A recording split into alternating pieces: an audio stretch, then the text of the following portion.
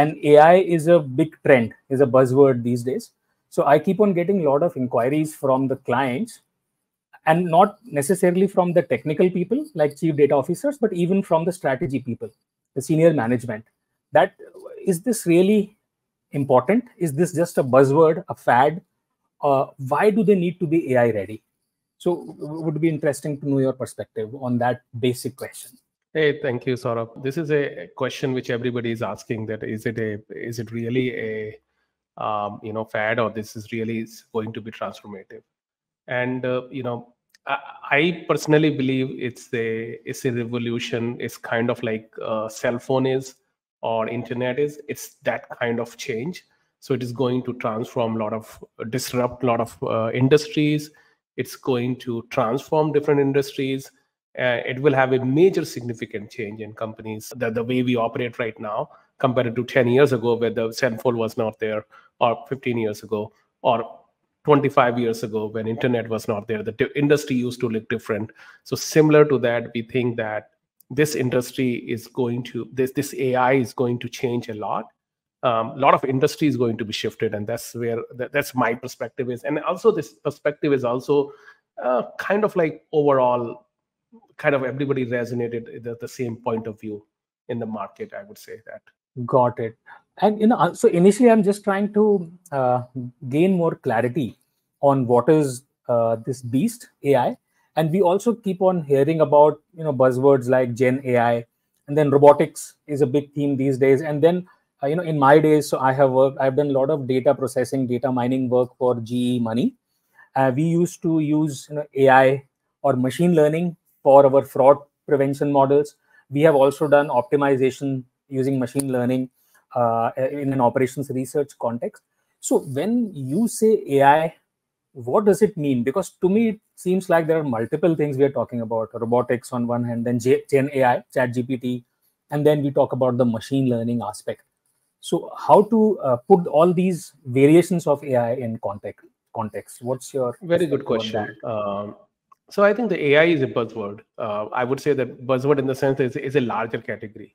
Now the multiple uh, varieties of AIs are there, right? So, so uh, I think the machine, if you see the, the, it started even I think 25 years ago when I was doing studying.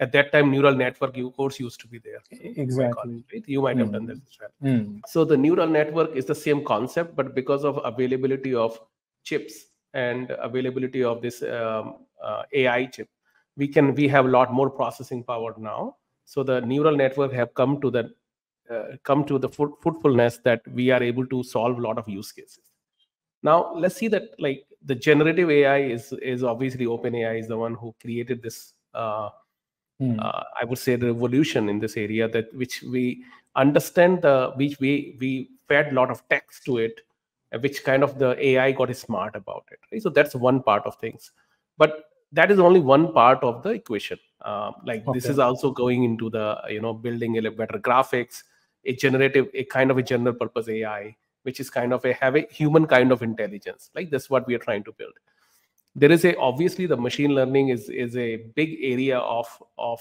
disruption is still there where this mm. ai industry can be used right so if you see overall like at the very high level what the ai is going to do in various industries for example uh, some industry is going to be disrupted for example a legal industry right where the legal i would say that because most of the information is the uh, is the uh, the knowledge about the law and context is already available in the books so the lawyer mm. what the lawyer does it can be done by computers now very easily and mm.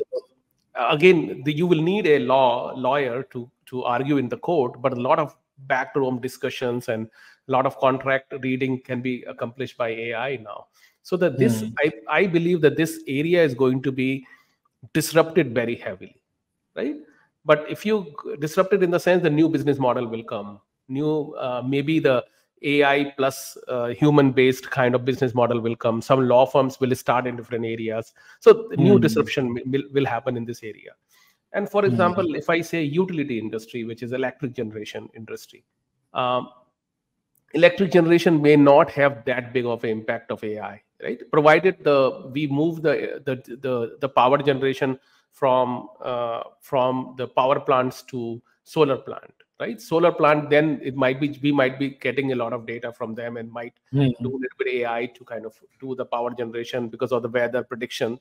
All these things come into the picture. But otherwise you will not see a major disruption in the industry right? So again it's going to be industry by industry. You will have a legal industry to power industry to banking industry. Different different use case will emerge. And based on that the disruption will happen differently. And Uh, the yeah, as you say that there is a another question was that what is the difference between the artificial intelligence or ai or there may be a predictive intelligence? I would say that analytics or Hmm. ai is going to solve the problem and that's where the innovation is going to come. So right now the generative ai have taken a front uh, you know front uh, generation approach that is kind of we can see that how this is going to come into the market.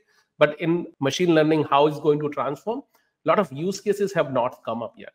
So we really don't know that how this is going to transform majorly. But we can we have a fair idea that it's going to be transformed. We can do sql in analytics much more faster now we'll be able Okay. to do faster because of availability of that